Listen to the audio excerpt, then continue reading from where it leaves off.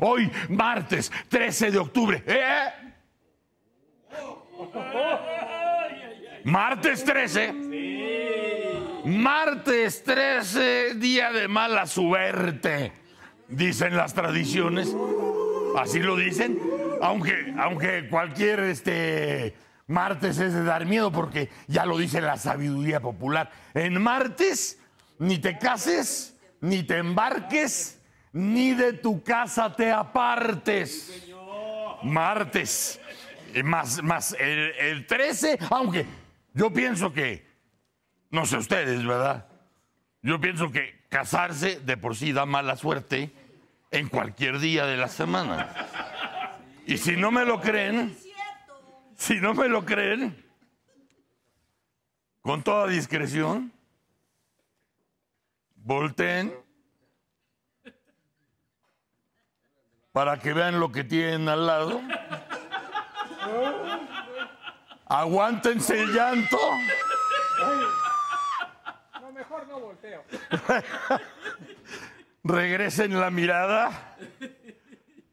La tragedia se cuenta sola. Esta es mi galería mañanera. ¡Órale!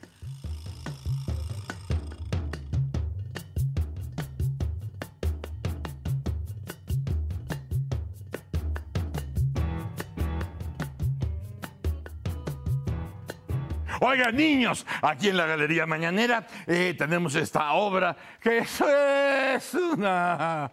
es, pues es, es- es prácticamente un, un mural que podría recorrer eh, la República entera. Si, si ustedes imaginan un mural de ese tamaño, y miren que hemos tenido muralistas, pero buenos muralistas. Este mural del que hablamos, pues a lo mejor llama la atención por la extensión, no por la calidad. Es, es, es, es, grande, es grande como, eh, como, como, una infección. Es, es impresionante como un fantasma. Eh, pero pero no, no es muy bueno. Se llama tarea postergada. Ayer, el secretario de Gobernación, Miguel Ángel Osorio, Chang, Cheng, Ching, Chong, inauguró el Plan Nacional de Capacitación Policial. ¡Ah! El encargado de la política interior dijo que el objetivo es que cada elemento realice mejor su trabajo para protegerlos a ustedes que el nuevo sistema de justicia penal, una chulada, necesita que los elementos de una policía capacitada sean claves en la aplicación eficaz de la justicia.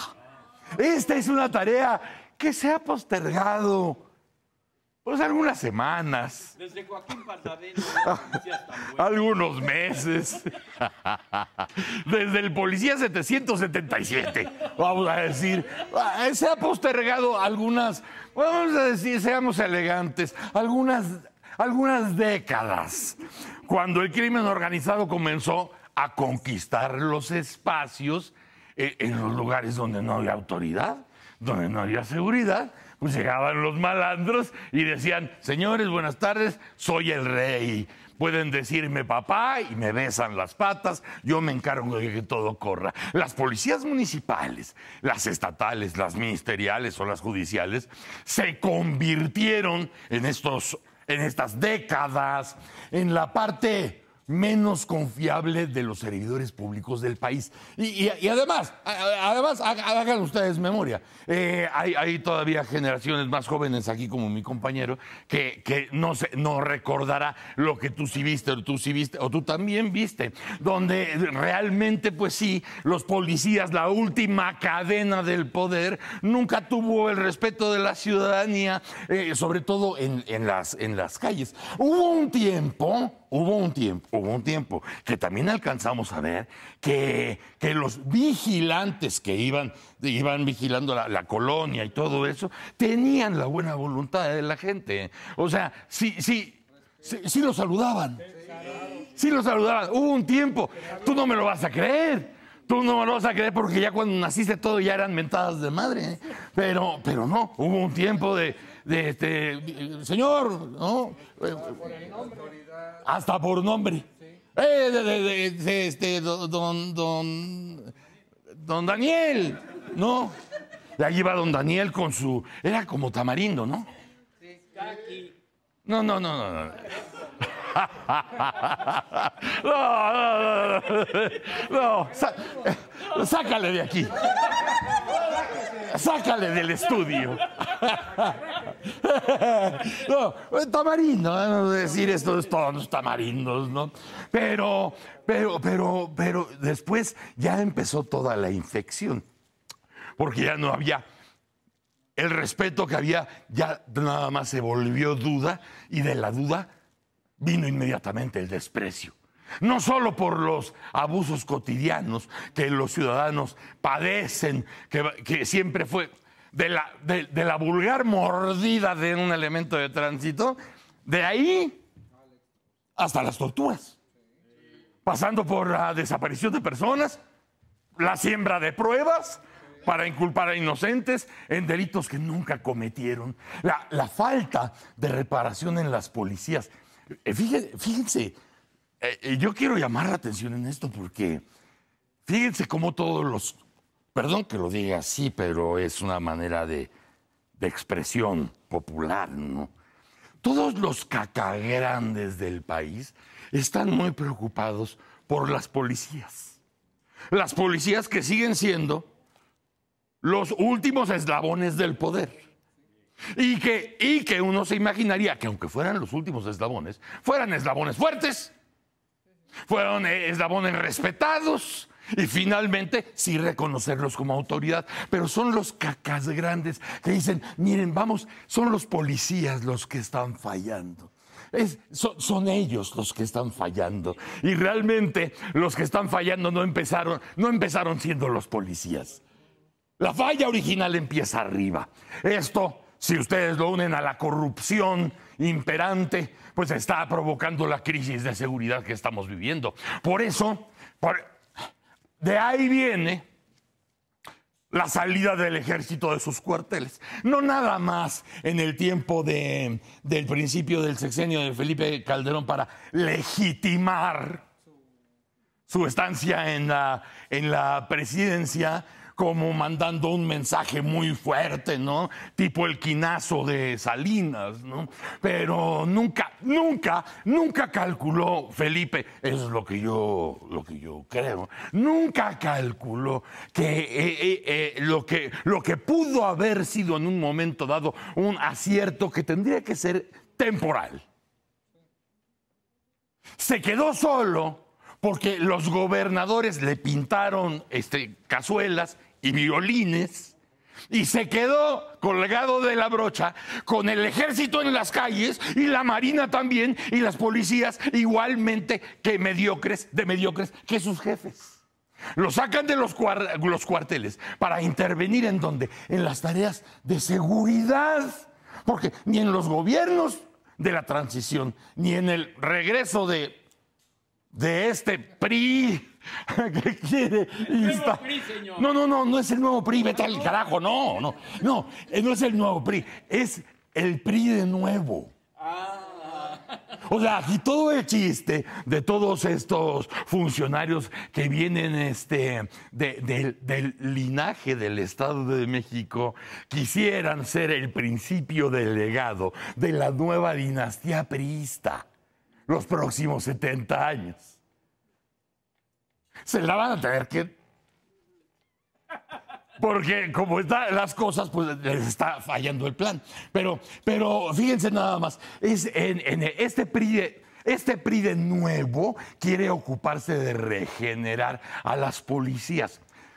Peor, bajo el pretexto de combatir crímenes en cada municipio, ahora ya hay hasta grupos tácticos en muchos municipios del país, los cuales solo sirven para amedrentar a la sociedad con armas de alto poder, con vehículos artillados, y lo peor es que los elementos no están capacitados ni siquiera para agarrarle la pistola a cualquiera de ustedes, ¿no? El gobierno federal y algunos estatales insisten en establecer el mando único como el primer remedio para evitar una mayor descomposición de las policías. Mira, ah, sí, ah, pon tú que sí. Pon tú que sí. Pero también es necesario que las autoridades estatales, las federales, junto con las municipales, to- tomen.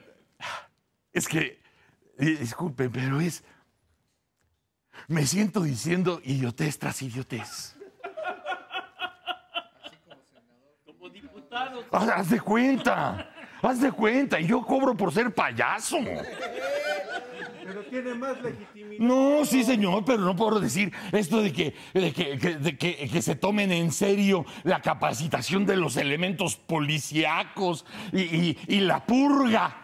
De los, de los malos elementos que se han coludido con el crimen organizado, abusados. Eh, cortemos esta sarta de idioteces y abusados para que nadie se equivoque. Las purgas de a de veras, y lo venimos diciendo desde la administración pasada, y hay testigos. Las purgas de a de veras se hacen de arriba hacia abajo, como la gravedad. Cuando, cuando, cuando te purgas, o cuando te tienen que purgar, empieza por acá, ¿no? Sí, señor. Empieza por acá y sale por abajo. Pero tiene que recorrer todo. Tiene que recorrerte este, este, el, el gañote, el estómago, los intestinos y de los intestinos este, este, eh, la, la- la- la- la salida por, por, por el chicaspiano, ¿no? Así es. Porque si no es de arriba hacia abajo, si les quieren hacer creer lo contrario, lo más seguro es que estén viviendo en un país que se llama México. ¡Órale!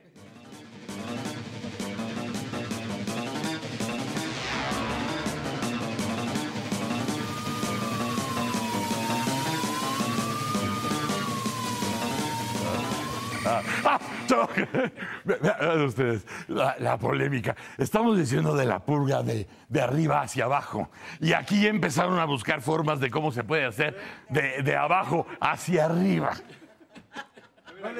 Fíjense lo que es tener, pues estar rodeado de todo un grupo creativo. Un grupo hasta, pues, creativo, científico, soñador. Porque 4 megabytes de. no, con un disco duro, Muy duro. cuando hace frío, es disco duro. Pero, pero, pero fíjate, que ahorita empezaron a decir, pues no todo de arriba hacia abajo. ¿Por qué? Mira un supositorio. Y Ramiro de inmediato. A ver. Pero,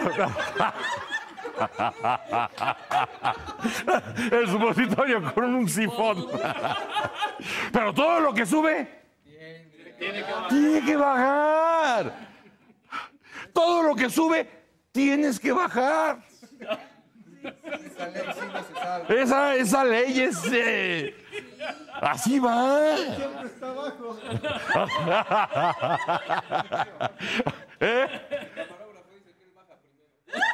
Bueno, está bien. Si, si tú quieres bajar primero, oh, eh, pero la ley se cumple.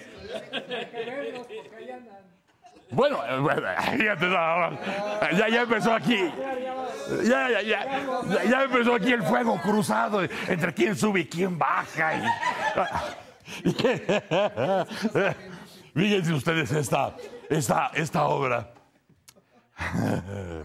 Se llama Atentado. Fernando Moreno Peña fue gobernador de Colima. Nosotros lo conocimos cuando era rector de la Universidad de Colima. Y, imagínense nada más que presupuesto tenía esa universidad, que en su momento era la punta de vanguardia en cuestiones digitales en el país.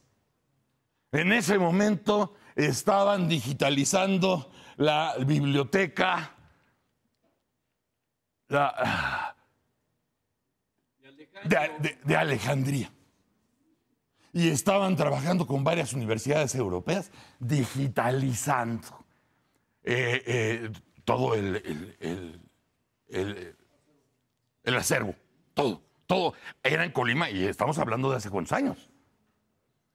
¿Tú todavía tenías elecciones, Echai? todavía tengo. Todavía. Usted todavía tenía pelo. ¿Eh? Tenía pelo usted todavía, señor. Y todavía.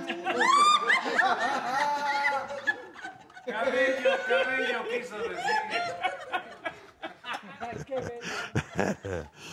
Pero, pero, a ver, en ese tiempo, en ese tiempo lo conocimos. Y, y en ese tiempo ya empezábamos a notar que empezaba a hacer sus, sus juegos ya en la política, porque era popular entre la tropa, como rector de la universidad. Y, y- hasta le decíamos, oiga, rector, pero usted lo que está tirando es a la gubernatura, ¿no? No, no, no, no, como cree, para la academia es lo único que yo nací, para servir a los jóvenes, y, ¿no? y finalmente acabó siendo gobernador y acabó siendo pues como, como señor feudal en la política de, de Colima. ¿Eh? No, guía moral, no sé. Si para ti representa eso, con mucho respeto. Con mucho. No, no, o sea, yo, yo le diría, pues, señor feudal, ¿no? Guía moral, yo no. No, así no es para tanto, ¿no? O sea, o sea, me reservo, ¿no? Salvo tu mejor opinión, desde luego. Pero, fíjense nada más. Es, sin duda, uno de los políticos más poderosos de aquella entidad. O sea, es, es alguien que maneja hilos pesados. Desde que dejó la gubernatura, se incrustó en la estructura del Comité Nacional del PRI y fue uno de los principales operadores políticos electorales en los últimos lustros. No, no, no, no es hasta, hasta platicaste con él cuando estaban este, en la candidatura de Madrazo. ¿Eh? No hasta, no hasta perdió Fernando este, Moreno Peña una, una, una apuesta contigo. él es el que lleva también la logística. Él llevaba la logística, pero no perdió una apuesta contigo. Que le dijiste que, que, que, que Madrazo, que Madrazo iba a chiras pelas. Sí, que los gobernadores operaban en contra de Madrazo. Así le dijo. Le dijo, le dijo eh, Fernando. Fernando Coca a Fernando Moreno Peña. Cuando estaban en las, en las giras, que, que Fernando estaba cubriendo gira, y, y- le dijo, pues ya ves cómo juntas un político y un, y un reportero y empiezan ahí. ¿No? Deja las chispas, ¿no? Lo que antecede, ¿no? ya hasta salían las señoras de ahí, échenles agua y eso. Y entonces eh, Fernando Coca le dijo, oiga, yo creo que, que Madrazo va a perder. Pero ¿cómo crees? Reporterillo, tinterillo. Pero ¿cómo crees que va a pasar eso? Si estamos fuertes, somos tremendos. Y le dice Fernando Coca, le dice, mire, lo que pasa es que los gobernadores, muchos gobernadores, están operando, muchos gobernadores priistas, están operando contra el PRI por el peso que tenía en ese momento el Bester Gordillo, primera enemiga de Roberto Madrazo. Tú le crees a madrazo, yo tampoco. Exactamente. Cuando empezaban los carteles de tú le crees a Madrazo, yo tampoco, era la misma época. Y entonces Fernando Coca le dijo, no va a ganar. No va a ganar. Están operando contra él porque hemos estado en tal estado y fuimos acá y fuimos a cubrir allá y fuimos a cubrir esto y fuimos a ver. Y ahí se ve, se nota y se dice. Y Fernando Moreno Peña, el de Colima, le dijo, ¡ja! De Iztapaluca tenías que ser. ¿Cómo va a ser posible eso, hombre? Si alguien sabe de eso, soy yo porque fui gobernador. Tú no has sido nadie.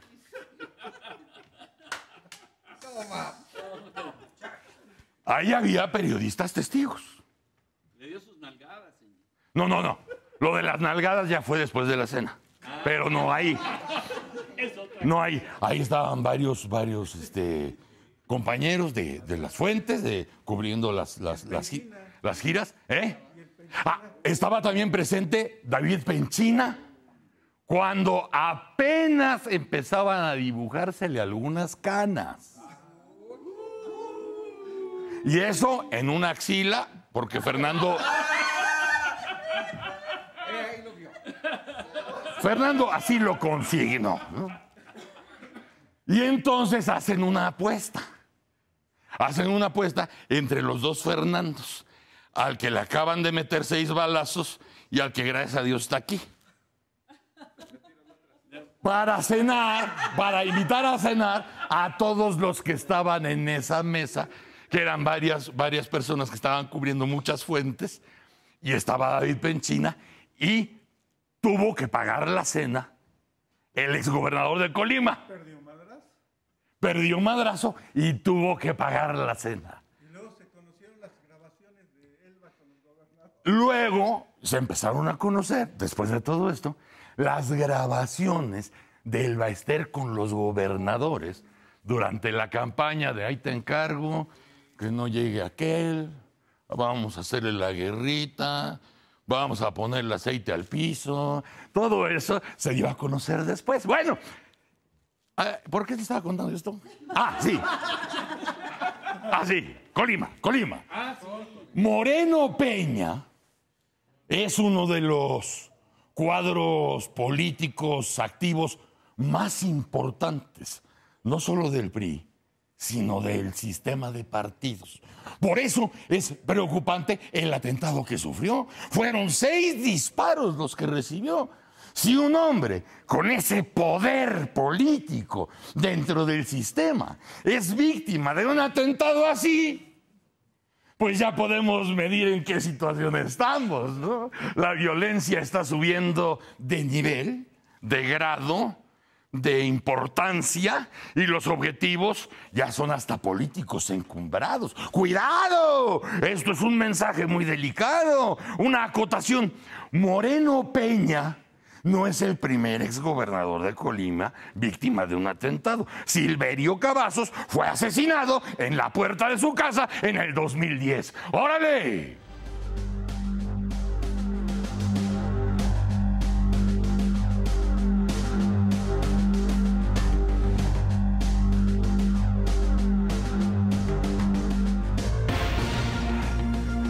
Chamacos, vean ustedes esta obra en la Galería Mañanera. Es, eh, la hemos visto en, en varias versiones. Esta versión que les presentamos, es, eh, bueno, nos la entregaron ayer, justamente ayer. Todavía viene fresca, la estamos, la estamos cuidando porque, para, para, para que no se craquele el material del que está hecho este que se llama Las Marchas. Ayer hubo protestas de la Coordinadora Nacional de Trabajadores de la Educación en Oaxaca, Tabasco, Chiapas, Guerrero, Michoacán y el DF. En Guerrero bloquearon carreteras y comercios. En Tabasco y Chiapas también bloquearon carreteras. En Michoacán bloquearon la autopista del siglo XXI y ocho puertas de acceso al puerto Larza- de Lázaro Cárdenas. En Oaxaca, en el 65% de las escuelas en el estado no hubo clases debido al paro de 72 horas al que convocó la CENTE. Los maestros bloquearon de forma intermitente la carretera federal 175 en el crucero que conduce al aeropuerto internacional de Xochocotlán y la carretera federal 190 a la altura del crucero de San Lorenzo Cacautepec y en el monumento a Juárez. La supercarretera Oaxaca-Coagnopalan fue bloqueada por otro grupo de maestros a la altura de Nochistlán, en donde cientos de vehículos permanecieron varados desde las 9 de la mañana. En el DF se informó que 22 escuelas del turno matutino pararon de manera parcial sus actividades. A las 4 de la tarde comenzó la marcha del Ángel de la Independencia a la CEP. Casi participaron. Pues sí, lo que pasa es que quiero ser eh, un poco delicado. Haz de cuenta onda Campas y Frián. O sea, no voy a decir que hubo una poca participación, porque sería. Pues sería como que lastimaría, ¿no? Ciertas vanidades y cier- ciertos. la-. Ah, Podría yo lacerar algunos sentimientos si digo que, pues, se veía bastante raquítica la marcha y no, no, no quisiera yo hacer eso, señora. Entonces, más bien, sí fue a marchar ayer. sí, eh, ¿cómo, cómo no nos vamos a dar cuenta si el que se veía era Ramiro? Él queriéndose así, este, como perder entre la masa y cuál masa, todos dicen, mira, yo pinche Ramiro, ¿qué pasa? Todo el mundo desde todos lados. Pero vamos a, vamos a hacer cifras oficiales. Casi, voy a ser más elegante, cerca de 3.000 elementos participaron para garantizar la seguridad durante la protesta que terminó en la noche eh, muy... eh, ¿eh? Relajado. Muy relajada y sin incidentes. ¡Órale! ¡Chamacos! ¡Órale!